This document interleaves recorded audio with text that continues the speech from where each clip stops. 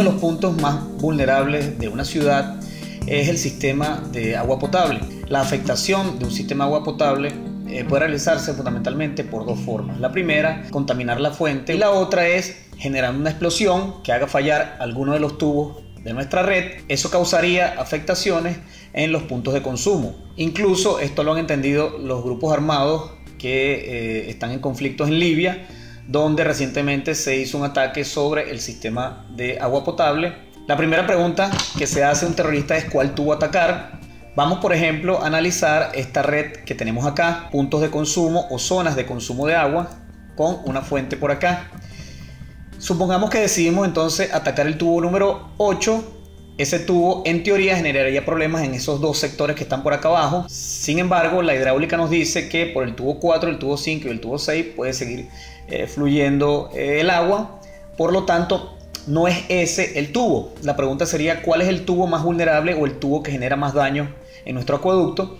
Para responder eso, hemos hecho un algoritmo utilizando EPANET y MATLAB que recurrentemente va quitando o rompiendo tubo a tubo, determinando cuál es el tubo que genera más daño y por supuesto cuál afecta a la mayor cantidad de nodos. El algoritmo es recurrente, se conecta con EPANET como modelo de simulación y va generando resultados y presiones en cada uno de los nodos. cuál tubo se queda? Se queda con el tubo que genere más nodos con presiones negativas.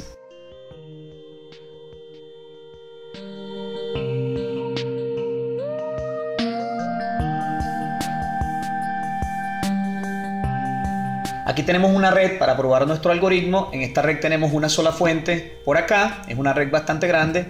Este es el código en MATLAB, el código que he desarrollado. Vamos a correr el modelo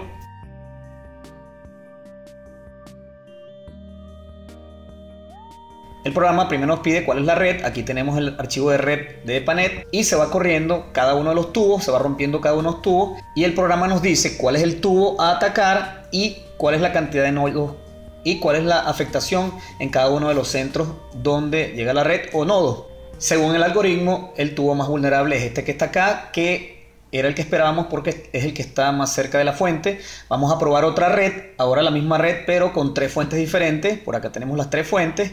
Vamos a probar el algoritmo ahora con esta red, pero con tres fuentes. Corremos el programa, buscamos la red que queremos atacar y están haciendo las corridas sucesivas, rompiendo cada uno de los tubos y viendo qué afectación genera.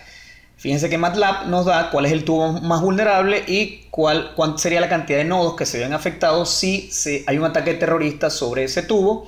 En este caso nos dice que es este tubo que está por acá el que se debe romper para generar la mayor cantidad de daños. Vamos a probar ahora otra red. Ahora esta red tiene dos tubos de salida, este que está acá y este que está por acá. La red tiene numerosas mallas. Vamos a usar el programa que rápidamente corre recurrentemente la red. Ahí tenemos la cantidad de tubos procesados y el resultado nos dice que el tubo a atacar es este que está acá y la cantidad de nodos afectados son estos. Eso quiere decir que de los dos nodos que salen de la fuente, este sería el que debemos atacar es, pensando como terrorista. El objetivo del programa también es, como gestores de los sistemas de abastecimiento de agua, cuál de nuestros tubos debemos proteger más ante un ataque terrorista. Si quieren saber más sobre Panet y MATLAB, en la descripción del video tienen más información.